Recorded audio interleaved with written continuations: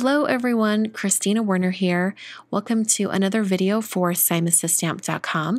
Today I'm going to be sharing with you a card or a couple cards made using supplies included in the March 2020 card kit. I'm going to be using the Stronger Together stamp set as well as the watercolor pencils from Darice.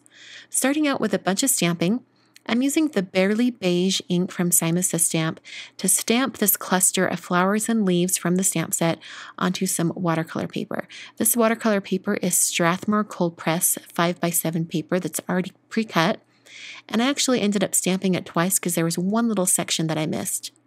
While I have my MISTI stamp positioning tool out, I'm also stamping a little cluster of leaves using some VersaFine Clair ink, a nice dark brown ink, onto some dark chocolate cardstock from Simon. I'm going to be doing some like white gouache painting on this brown cardstock, so I thought having a brown ink would be a great way to hide the lines. I have a palette here from Art Impressions that I'm going to use to mix some different colors with this white gouache. First going to water down that gouache just a little bit so that it's easier to move with my paintbrush. And then I'm going to grab a couple different colors of the watercolor pencils. And with a damp brush, I'm going to pull the color from the tip of the pencil and add it to the gouache. It's going to tint this white opaque paint just with just a little bit of that color. Mixing up two colors, I've got a nice pale green and also a pale yellow. I'm going to paint this directly onto my stamped leaves. And because this isn't a watercolor paper, I want to make sure that my paints aren't too watery because this cardstock can't handle a ton of moisture. About this amount is just right. After I had my pale green shade on all of the leaves, I added that I then added the pale yellow, and this is just going to go on the tips of the leaves. And there really wasn't much pigment from the watercolor pencil in mixed into with this gouache, so it started to look really, really pale.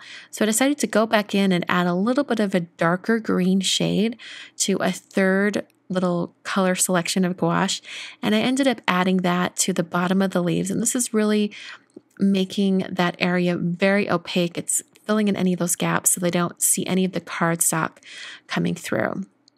Then grabbed a smaller paintbrush and used that same color that I was just applying and I painted on the stems for the leaves.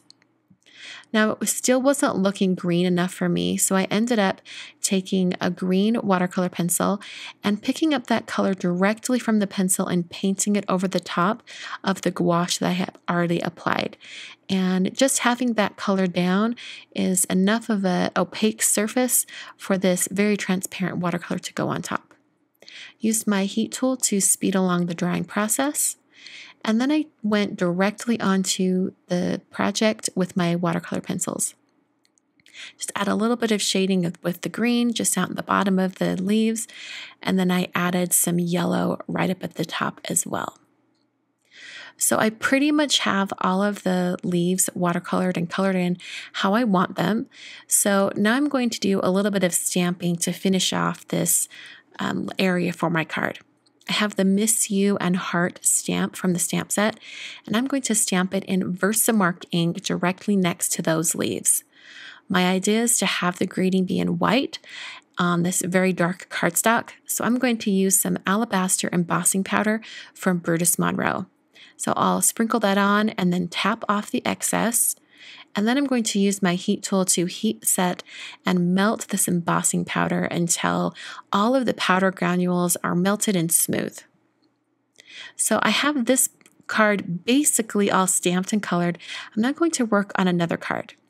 So I stamped it earlier in Barely Beige ink, and I'm going to do some no line watercoloring and colored pencils with the watercolor pencils. So for this particular image, I started out by coloring directly onto the cardstock and then using a damp paintbrush to spread out that color. I did one layer of a nice red shade and then I came in with a slightly deeper red shade. I used the same technique on the leaves by starting with a green shade, spreading it out with my uh, damp brush, and then coming in with a darker shade. In this case, it was a brown color. So this is really going to tone those leaves, give them a little bit of a different look. And I decided to take that even further and add another color on top, this time going directly from the pencil itself. So I picked it up with my damp brush and put this kind of more bluish green shade at the, t- at the very bottom of each leaf, and then used a clean brush, just so, cleaning off my brush and then coming back with just water to spread that color out. I used that same smaller paintbrush that I used on the previous card to paint on the stems on this cluster of leaves and flowers. And I also varied the color as I painted these. Um, one is more of a greenish blue, and the other is just straight green. So I wanted to add a little bit more shading on the flower petals just because I felt like they looked a little bit flat. So I mixed up a couple of colors, a purple and a red, and tried to get it just into a deeper shade. I also added some brown to it eventually, and then I painted that directly onto the petals. And that really added quite a bit more dim- dimension and also definition to all of these flower petals. So that finishes all of the painting.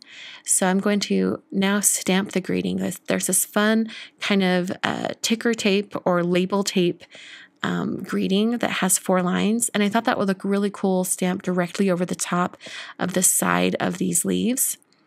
And I'm using that same dark brown ink that I used earlier. And I did end up stamping this about three times just because that watercolor paper does have quite a bit of texture. So after I stamped it three times, then it was ready to uh, move on for the assembly of the card.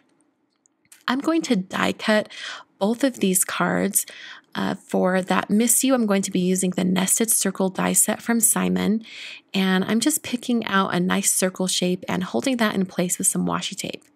For the other card, I'm using the Waffle Flower A2 Layers dies, and I'm using one that's just slightly bigger than the whole watercolor and greeting area because I want to have quite a bit of my card base showing through. Speaking of card bases, here is some white cardstock I'm going to use for the circle card. I've scored that at five and a half, and then I placed a larger circle die, and it's hanging off the edge of my folded piece by just a little bit. So it's um, coming off that fold so that after I run it through my die cutting machine, it does not cut up at that fold. I have a little hinge there for my circle card. The other card is made out of some Neenah Desert Storm environmental cardstock, and that's a top folding card scored at five and a half. Put some foam tape behind my watercolor piece and adhered that directly to the card base. And I did that as well for the circle card, just putting some foam tape behind that brown watercolor piece. To finish off the circle card, I took a white Gelly Roll pen. This is a number 10 bold Gelly Roll pen and added some dash lines just around the outer edge to give it a more finished look. Those were the cards for today. Hope you guys enjoyed. You can check out the March 2020 card kit at the links down below and over at the simonsaysstamp.com shop. Thanks so much for watching, and I will see you guys in another video very, very soon.